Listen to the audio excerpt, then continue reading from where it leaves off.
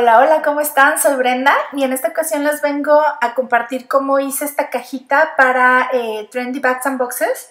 Es parte del reto de mes de marzo. Y bueno, pues se nos está pidiendo que hagamos una cajita estilo shabby chic. En el proceso ustedes van a ver que voy a hacerlo con otra, otros papeles y después corrijo porque me, quedar, me quedó más el estilo vintage que shabby chic. Entonces, este pues estoy regresando a hacerla a esto que están viendo ahorita, ¿no? Este, me encantó la forma de esta cajita, está como con piquitos hacia afuera, está muy padre porque mm, ves diferentes tonos en la caja, me gustó mucho, espero que ustedes también la hacemos. Bueno, lo primero que hay que hacer es cortar dos pedazos de cardstock de 7 por 7 pulgadas, como están viendo en este momento, para hacer la base de nuestra cajita. ¿Ok?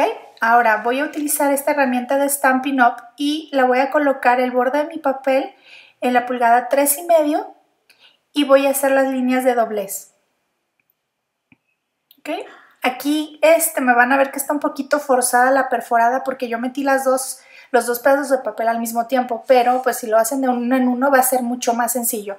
Entonces perforan todas, todos los lados y hacen las líneas de doblez. Ahora con la em, tabla de Martha Stewart vamos a marcar por todos los lados en 3 octavos eh, las líneas de doblez y luego cortar estos cuadritos que estamos viendo aquí al final de, del papel. Ya que tenemos cortadas estas partes, vamos a cortar estas, em, estas pestañitas solo, solamente por un lado, ¿ok?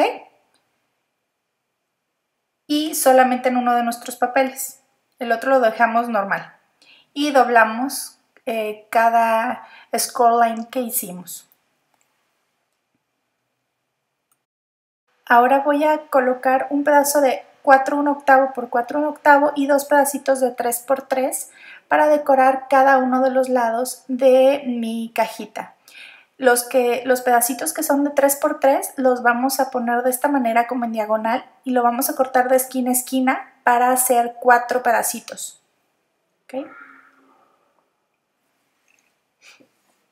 Y estos van a ir colocados así. Si te fijas, el tono del papel es como tipo naranjita con rosa. Nada más que ahorita envejecí con, este, con una tinta de Tim Holtz que se llama Vintage Photo, las orillas, y esto hizo que tomara un tono como más oscuro, más como tirándole a café. Estos son papeles de Prima Marketing y tienen eh, verde, claro, rosita y salmón.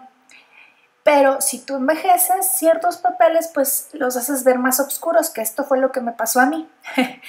y pues el reto era este, ah, eh, el reto era que fuera eh, shabby chic, no vintage. Y aquí ya me quedó como más tipo vintage, ¿no?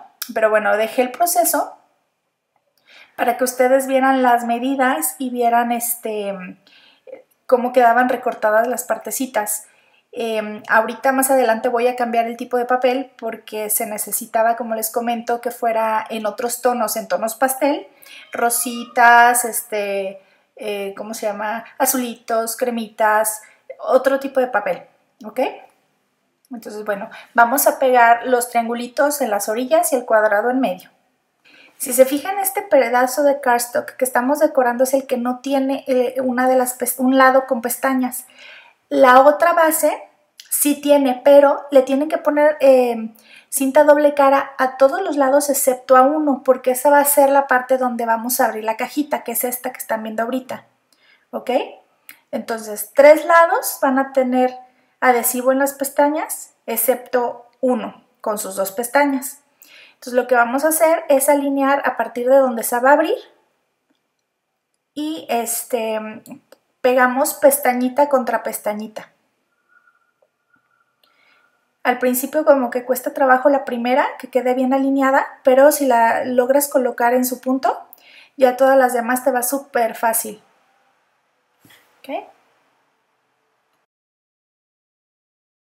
Ya casi voy al final de pegar todos los lados, pero antes de hacerlo voy a dejar dos, dos este, dos pestañas sin pegar porque vamos a perforar em, la parte de adelante, la tapita que se va a abrir con una perforadora redondita de las normales vamos a hacer un orificio en la parte de abajo, en la parte lisa, y otro orificio en la parte de arriba. Por ahí vamos a pasar un twine o un este pedacito de listoncito o lo que tengan para cerrar la cajita. Esa va a ser la tapita. ¿Ok? Y ahora sí termino de, de pegar todos los costados.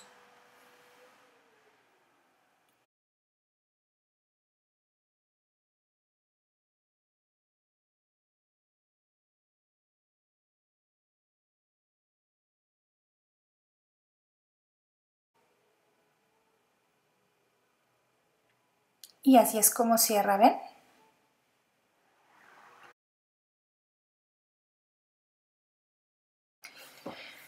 Bueno, y en esta parte es la que les digo que había hecho yo las cosas este, pensando que fueran shabby chic, pero a la hora de que envejecí los elementos sentí que me quedó demasiado, con, este, demasiado café en lugar de los tonos que nos habían pedido en Trendy.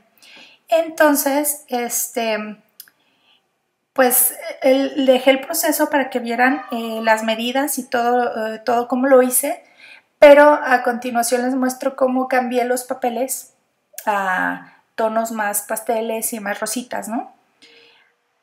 Aquí ya estoy corrigiendo, estoy tomando las medidas para cortar mi papel que es de la marca Dovecraft Collections y es la colección Sweet Paris. Ahí está preciosa porque tiene florecitas y tonos muy claritos. Como parte de los requerimientos era que llevara encaje, entonces aquí le estoy pegando todo alrededor del papel decorado encajito que se le ve muy lindo y que, creo yo que, se, que le da un, aspecto más, más shabby. Ahora estoy pegando los pedacitos de papel alrededor y aquí estampé el mismo corazón que me vieron eh, utilizar en, en, el proyecto Vintage este, sobre papel decorado y la estoy pasando por la Big Shot para recortarlo y que sea como el elemento central de mi cajita. Y bueno, pues ya lo demás es nada más este colocar los elementos y este decorar y pegar. Aquí utilicé un sim binding eh, o listón de esos arrugaditos que ahorita andan de moda y le puse un botón y un corazón de los que vende Elida este, en medio y bueno pues ya coloqué todos los elementos, los pegué con silicón frío y este le puse medias perlas, color este color rosita, hay un pedazo de hilito con un ganchito que sé que se le ve lindo, un este mensajito que dice te quiero mucho, corazones, que no puede faltar, mucho amor un corazoncito verde que hace juego con el fondo del papel. Y bueno, pues aquí nada más es jugar con los colores. Utilicé tres diferentes tonos, no, uno, dos, tres, cuatro, cuatro este, papelitos de esta colección. Estas son flores de Prima Marketing, que estoy colocando una sobre otra para crear un poquito de volumen. Y le voy a colocar una media perla color tornasol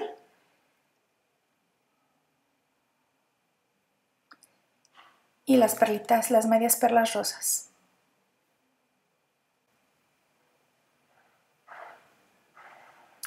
Bueno, pues espero de verdad que les haya gustado eh, ver el proceso de cómo hice esta cajita y que me den muchos likes y me dejen sus comentarios aquí. Que tengan bonito día. Bye bye.